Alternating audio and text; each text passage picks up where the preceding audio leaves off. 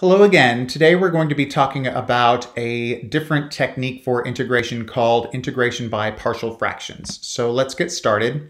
Now sometimes when I'm finding the antiderivative of a fraction, the numerator is the derivative of the denominator, which means I can just use u substitution to figure out what the antiderivative is. We've gone through examples of that. But sometimes the numerator is not the derivative of the denominator. It's not even a multiple of the derivative of the denominator. It's just something entirely different. So we need a strategy to figure out the antiderivative of that expression.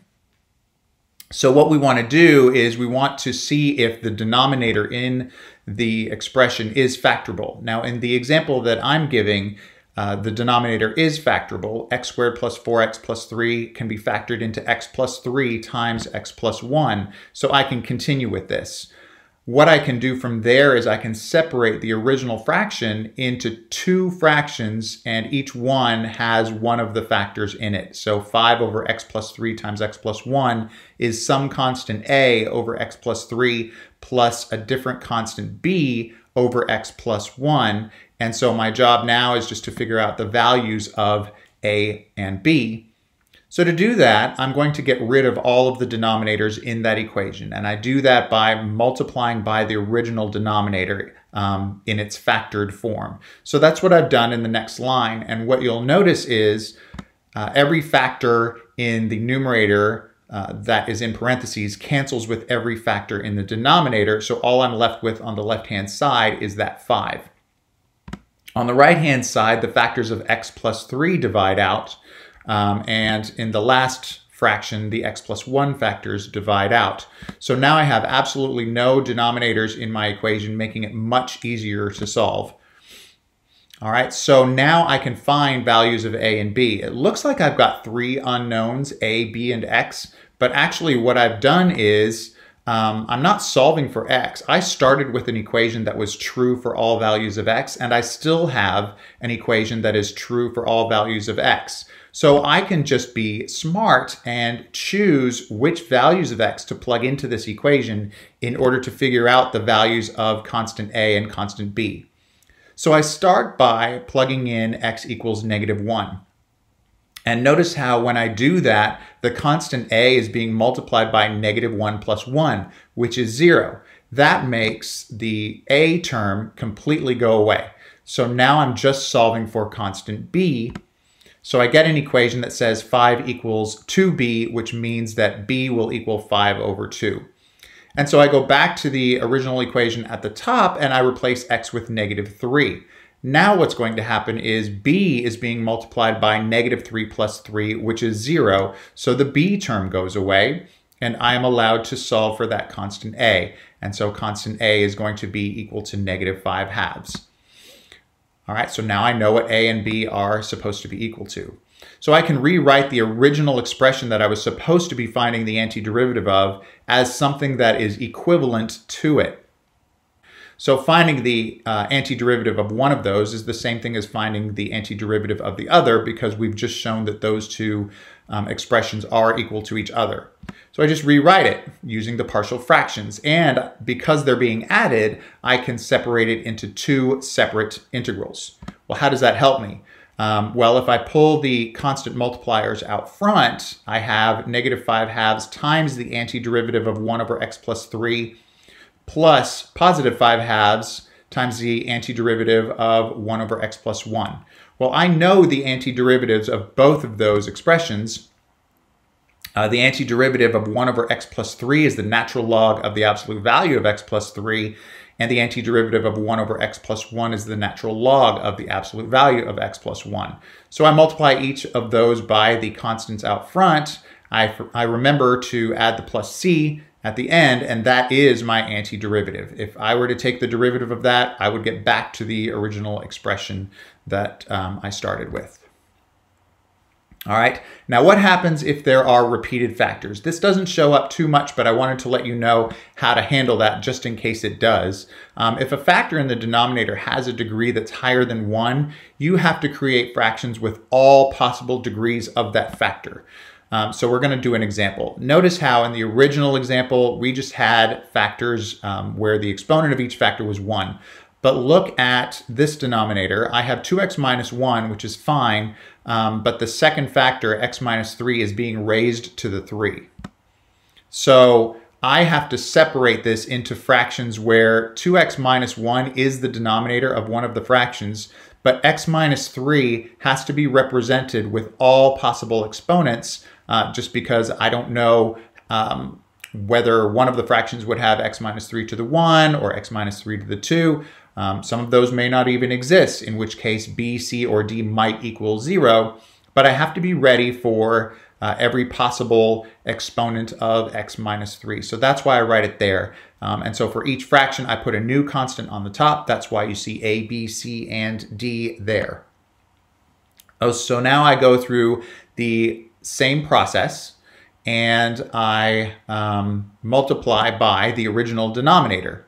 Um, and so that looks pretty messy, but hopefully what's going to happen is every denominator is going to be canceled with part of the numerator. So on the left-hand side, um, that denominator gets canceled with everything that was in parentheses, so all I'm left with is the 2.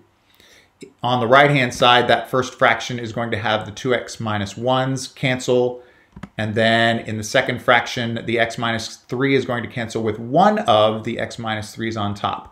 So that exponent of 3 gets replaced with a 2.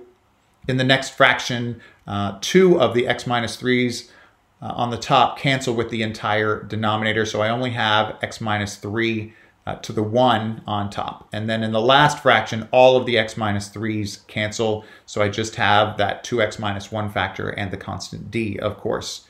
Uh, the important thing is that all denominators have gone away. So now I have this equation here that has no denominators, and I can solve uh, for A, B, C, and D. So again, I'm smart about which x's that I plug into this equation. So I start by uh, letting x equal 3. And when that happens, the a term is going to go away, the b term is going to go away, and the c term is going to go away because they all have x minus 3 as a factor. And when x equals 3, x minus 3 is going to equal 0. So that's going to be multiplied by everything else that's there. So I just have the term that has d in it. So I have 2 equals 5d, so uh, d is going to equal 2 fifths, which is 0.4. Okay, and now I plug in 1 half, um, and when I do that, again, three of the terms are going to cancel out because when x is a half, 2x minus 1 is going to equal 0. So any uh, term that has 2x minus 1 as a factor is going to go away.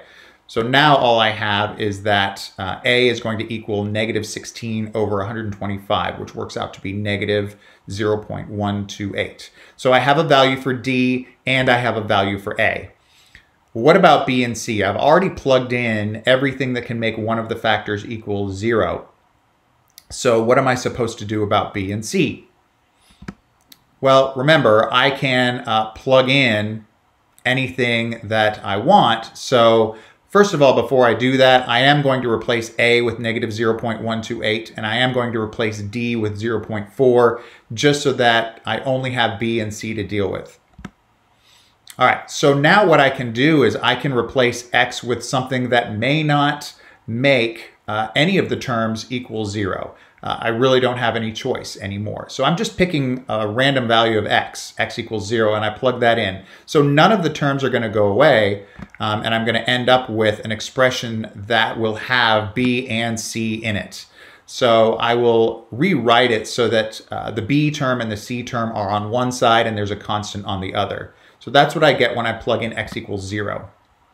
I'm going to plug in another value of x that I haven't used yet, which is x equals 1, and I get that equation there. And just like before, I'm going to uh, simplify everything and then rewrite it so that the b term and the c term are on one side and there's a constant on the other. So those two green equations are what I'm dealing with right now. And so I go back to uh, systems of equations. Okay, I have two equations with two unknowns and I can figure out what those are. Use whatever method you want. Um, I'm assuming that you're familiar with solving systems of equations, so if you want to use a calculator to do that, you can. Um, but if you want to do it by hand, you can do that as well.